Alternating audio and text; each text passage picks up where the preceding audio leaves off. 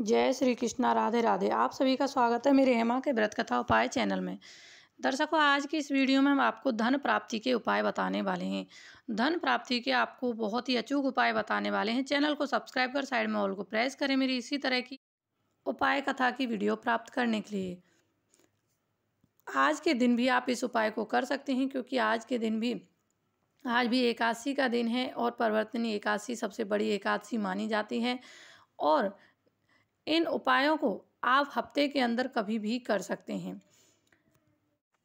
देखो, धन प्राप्ति का सबसे अच्छा उपाय हम आपको बताने वाले हैं। जिन व्यक्ति को लाख प्रयत्न करने पर भी धन संपत्ति परेशानियाँ दूर नहीं हो रही हैं और यदि आप तनाव, परेशानी, आर्थिक समस्याओं का सामना कर रहे हैं तो घबराएँ नहीं। यह आपके लिए एकदम सरल उपाय हम बताने जा रहे हैं। आप अपनी सभी, अपनी सुविधाओं से किसी एक को भी अपना सकते हैं। आप बस उनका नियमित उसका पालन करना है, जो उपाय हम आपको बता रहे हैं, उसी तरीके से आपको करना है। सबसे पहले तो देखो, धन प्राप्ति के लिए आपको क्या करना है? महालक्ष्मी और विष्णु जी की पूजा करनी है, यानी कि आज के दिन श्री हरि का नाम लेकर आपको पूजा करनी है। श्री हरि को आपको शाम के समय, शाम के समय आपको एक दीपक जला लेना है और एक दीपक जलाने के बाद आपको आसन लगाकर बैठ जाना है। आसन लगाकर बैठने के बाद दीपक आपको बत्ती आपको ऐसी रखनी है कि कम से कम आधे घंटे वो बत्ती जलती रहे और आपको आसन लगाकर बैठ जाना है और महालक्ष्मी जी की और विष्णु जी की एक फ़ोटो या तस्वीर जो भी है आपके पास वो रख सकते हैं।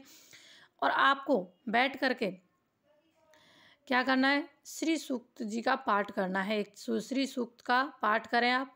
अगर आपके घर में वो चालीसा नहीं है तो आपको क्या करना है? ओम नमो भगवती वासुदेवाय मंत्र का दो बार माला करनी है। माला जो जिसे पूजा की जाती है, तुलसी की माला होती है, उसी से आपको दो बार बैठ करके जाप करना है। जाप करने के बाद आपको पाँच बार श्री हरि से अपनी प्रार्थना दोहरानी है, जो आपकी मनोकामनाएँ, धन प्राप्ति की है, कर्ज मुक्ति की है, नौकरी की है, जो भी आपकी समस्या है, आपको बोल देनी है और दीपक को वहीं पे रखा रहने देना है। इससे आपकी हर मनोकामना पूरी होगी क्योंकि आज परिवर्तनी एकादशी है और बड़ी एकादशी है। शाम के समय इस उपाय को करेंगे छः बजे के बाद तो आपकी हर मनोकामना पूरी होगी। दीपक जलाने के बाद, पूजा करने के बाद इसके बाद आपको क्या करना है?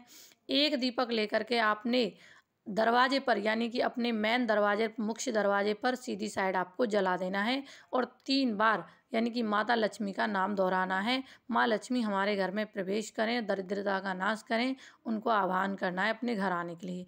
इतना सा उपाय आप कर लीजिए, आपकी हर मनोकामना पूरी होगी। जय श्री कृष्णा। राधे राधे कमेंट बॉक्स में अवश्य लिखिए ताकि आपकी हर मनोकामना पूरी हो। हम भी यही कामना करते हैं।